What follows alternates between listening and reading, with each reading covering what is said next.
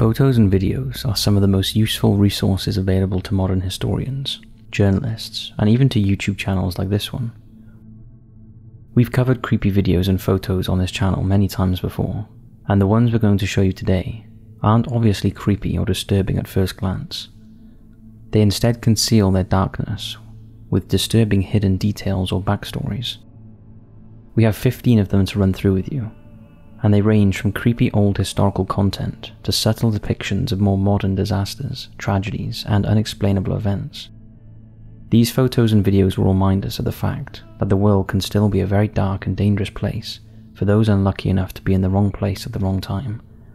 Now, before we begin, we'd just like to say that if you enjoy our videos and find value in our work, consider supporting us over on Patreon. Lots of our videos are not ad friendly, and thanks to the Patreon, we're able to keep covering the topics you love, despite YouTube's ad rules not liking them. Not only will you be supporting our channel, but you'll also get access to all of our exclusive full-length documentaries, like our most recent Minds of Madness on Christopher Duntsch, or our most recent Murderous Minds on Edmund Kemper, the co-ed killer, all for just $2 a month, and you can cancel anytime you want. We also want to remind you all that as has always been the case, if you genuinely cannot afford $2 a month, we offer all of our Patreon exclusive content for free, no questions asked. We understand times are tough, and not everyone can afford it. So if you cannot, just drop us an email to patreon at top5s.co.uk to see our content for free. Thanks everyone for supporting, and now it's time to hit those lights, sit back, and enjoy.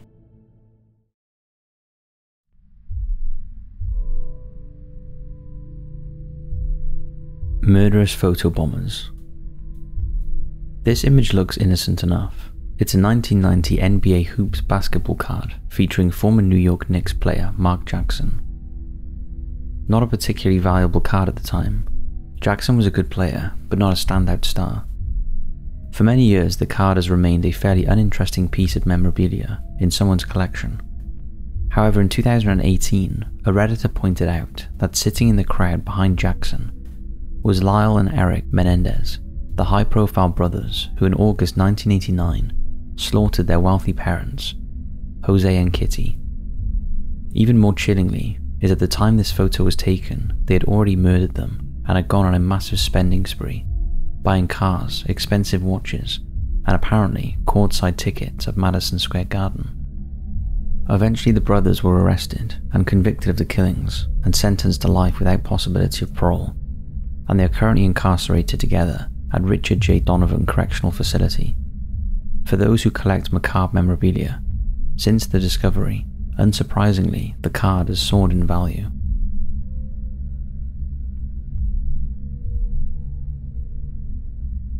Resurfacing Lake Mead, located on the outskirts of Las Vegas, has been receding in depth in recent years.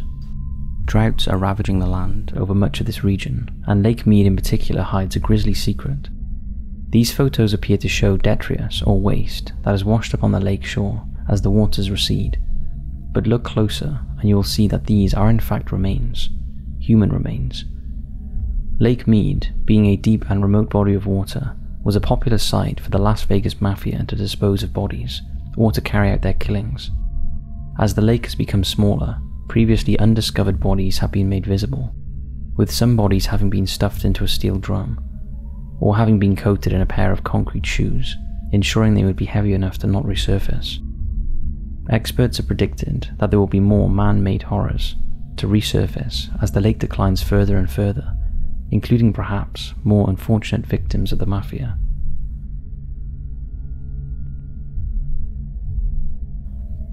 Behind the trees. This is a creepy one, and that's recently gone viral. The video depicts a man singing in the woods as he films some deer who come by to check out the sound. The deer seem pretty unfazed by the man's voice, and uncharacteristically haven't run off at the sight of any potential danger. They just stand there watching.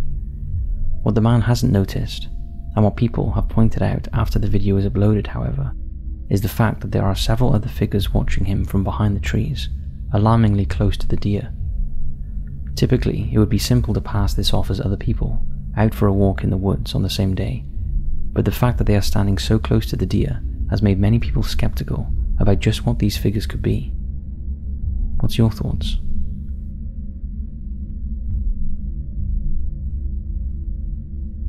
The Calm Before the Storm.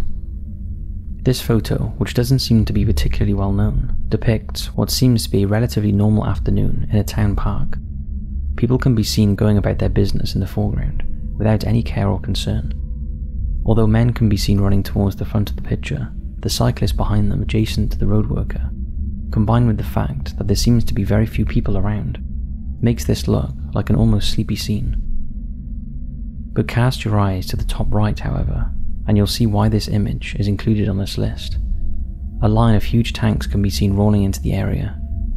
To begin, what would be the bloody Tiananmen Square massacre in 1989, where the Chinese government brutally murdered huge numbers of their own people for protesting for economic and political reform in the country. It is unknown how many people officially lost their lives that day, but estimates range from between several hundred to several thousand. Look at the top left of the image behind the trees, and you can even see the infamous tank man, the man who famously stood in front of the line of incoming tanks in what would become one of the most famous photos ever taken.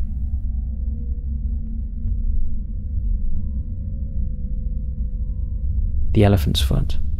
To those who do not already know what this is, this picture might be a bit puzzling at first. What appears to be a huge thick liquid mass is pouring out of indoor machinery, while strange glowing effects can be seen in the top of the image. In reality, what you are looking at here is known as the elephant's foot, a super radioactive mass of corium that escaped from within one of the reactors at Chernobyl nuclear power plant on the day of the infamous disaster in April 1986. It is one of the most lethal objects on planet Earth, Spend 5 minutes around it, and you'll have a 50 50 chance of taking a lethal dose of radiation. It is now safe enough to be around the elephant's foot whilst taking protective measures and wearing the correct safety clothing. As Deputy Director of the New Safe Confinement Project, Arthur Korneviev did in 1996 when he took this photo of it. Its name comes from the strange, wrinkly texture of the object when it was discovered, which is now apparently morphed into a sand like consistency over time.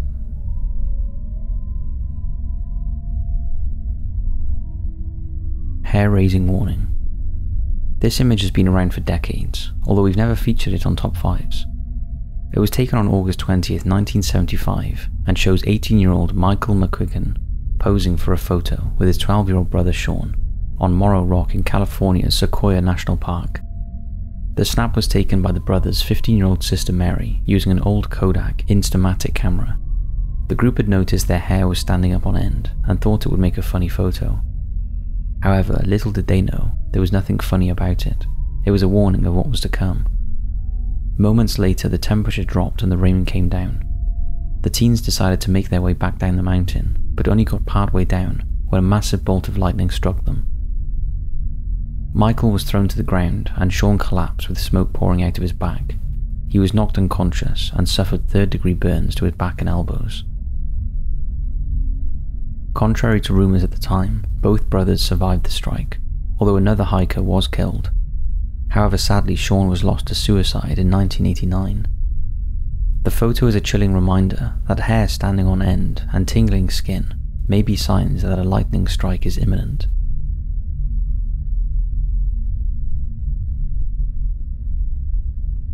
The haunting face of war. These next images show the disturbing effects of war the first shows a fresh-faced artist, Eugene Kobytev, the day before he went to the front line after Germany attacked the Soviet Union in 1941. The young artist voluntarily became a soldier and enlisted in one of the artillery regiments of the Red Army.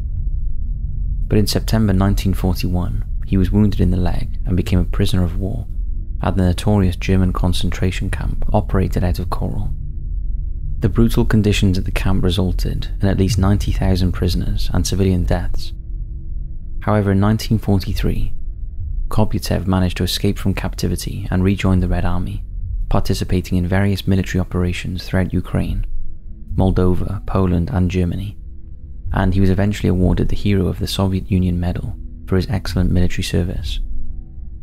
But four years later, a different image is looking into the camera lens. It's the same man, but the contrast is striking. Kobytev's thin, tired face and troubled stares show the inner torture of witnessing four years of a no-rule war on the Eastern Front. A troubling reminder of the human cost of war, even to those that manage to survive.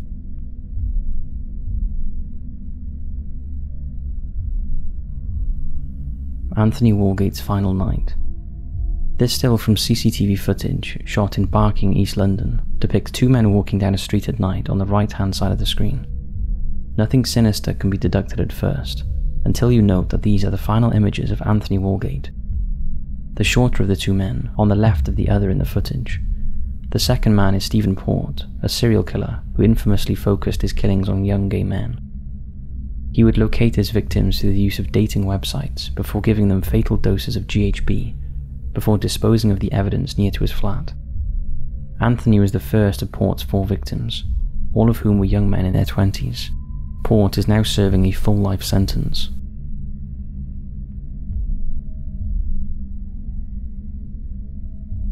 The nuclear shadows of Hiroshima. These photos show eerie outlines of figures and structures stained onto steps and pavements. It almost looks like some kind of painting, but in reality, these images show the real life nuclear shadows of real human beings who perished in the bombing of Hiroshima, Japan on the 6th of August 1945.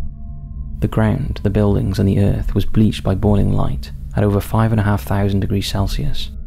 The haunting last moments of the citizens of Hiroshima were burnt into the pavement by the bleaching, capturing the last moments of innocent bystanders to the horrors of World War II's cataclysmic conclusion in Japan.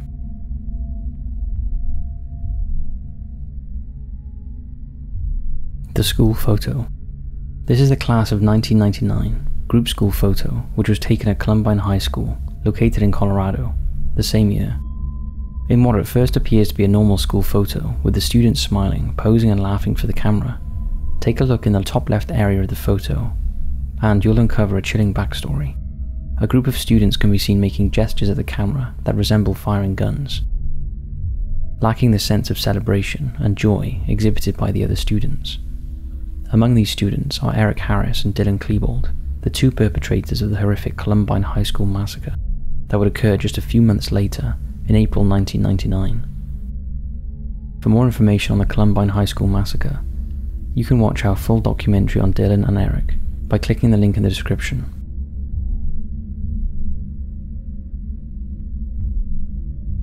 The Fireball. These grainy photos and the accompanying video show a huge fairground ride from the Ohio State Fair known as the Fireball. Without background, they just appeared to be amateur mobile phone photos taken by a bystander, presumably whose friend or relative was riding at the time. Shortly after these photos were taken, however, the ride malfunctioned, and the swinging pendulum like amusement snapped, launching part of the ride, along with its several riders, into the air, killing at least one and injuring several others. The ride was supposed to propel the riders 12 meters into the air several times before coming to a stop in the middle, but unfortunately things did not go to plan. It is unknown just what caused the malfunction, which resulted in an upsetting and grisly scene for many involved.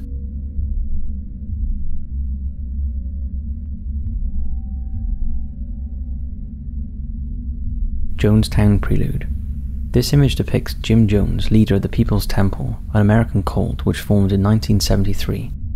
The cult amassed many followers over the years for its operations from 1973 to the end of 1978.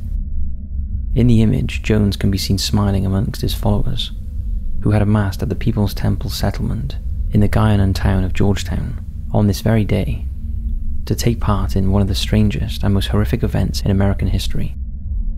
Shortly after this picture was taken, over 900 individuals lost their lives in a mass murder suicide orchestrated by Jones. Many of the cult members opted to take their own lives by poisoning themselves with juice laced with cyanide, where many more who refused were killed with weapons by Jones's men, specifically crossbows and guns. Among the victims were many children and young people. Many of Jones's followers were so devoutly taken with him and his cult that they would gladly do this for him. Jones himself did not poison himself. He died that day too from a single gunshot wound to his head. To this day, it's unknown if he did this to himself or was killed by somebody else. This photo is eerily striking with context, to see Jones appearing so apparently calm, bathed in the evening sunlight, ahead of the events that would follow, are truly unsettling.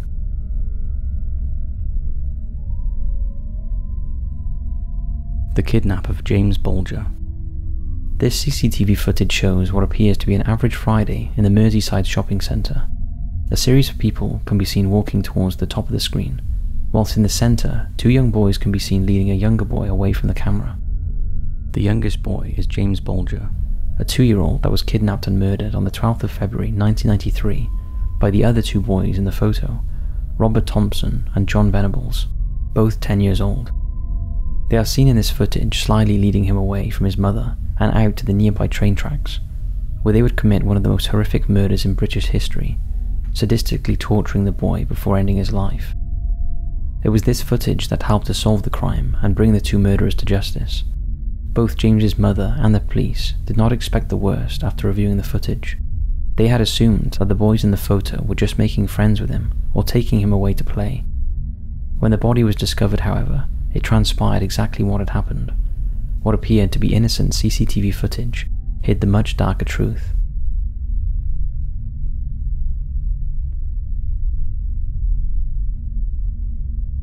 The Martinez Dog Demon. This photo shows a happy couple, Joe and Patty Martinez, celebrating at their friend's 50th wedding anniversary.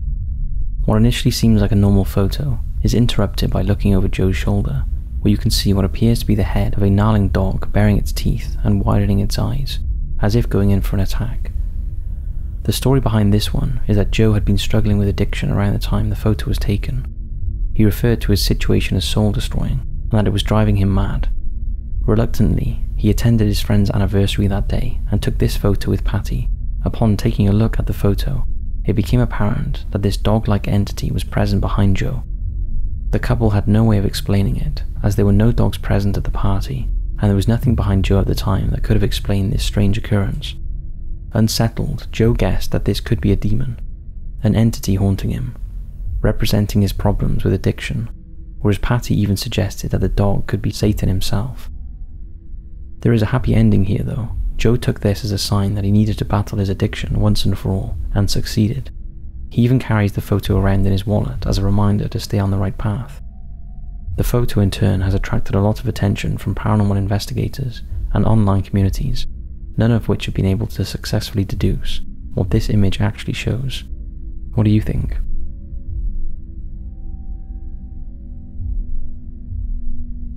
Auto Icon a novel way to be remembered. Is it a painting, a statue, or something much creepier? No, it's the preserved skeleton of Jeremy Bentham, an English philosopher, jurist, and social reformer who died in London on the 6th of June 1832. Bentham, who is regarded as the founder of modern utilitarianism, argued that the greatest happiness of the greatest number is the only right and proper end of government, something that resonates with a lot of people today. When Bentham died, he requested that his body be given to his friend, Dr. Southwood Smith, and specific instructions on how it was to be preserved. In what he named as Auto Icon, Bentham asked for his skeleton to be seated in his old chair, dressed in one of his suits, and placed in a cabinet that occasionally could be brought into meetings with his friends. Originally, Bentham intended for his head to be part of the Auto Icon, and apparently for 10 years before his death, he carried in his pocket the glass eyes which were to adorn it. However, unfortunately, the process set out to preserve his head went disastrously wrong, robbing it of most of its facial features. So a wax head was put in its place, and for many years, the real head, with its glass eyes, was placed between Bentham's legs in the cabinet. Although nowadays it's in a separate case. Today, Bentham's auto icon is located at the University College London and can be viewed by the public. It's unclear whether he is still wheeled into meetings. So that's 15 photos and videos that hide disturbing details that cannot be seen on first glance. We hope you enjoyed this video, and perhaps you even have a photo or video of your own that hides something disturbing. As we said at the beginning, photos and videos are incredible resources that many of us take for granted, and we often underestimate the power behind an image or piece of footage. Some truly terrible things have been documented in the media in this video, but hopefully they can serve as a reminder to avoid similar horrors in the future. Thanks for watching, and as always, we'll see you in the next video.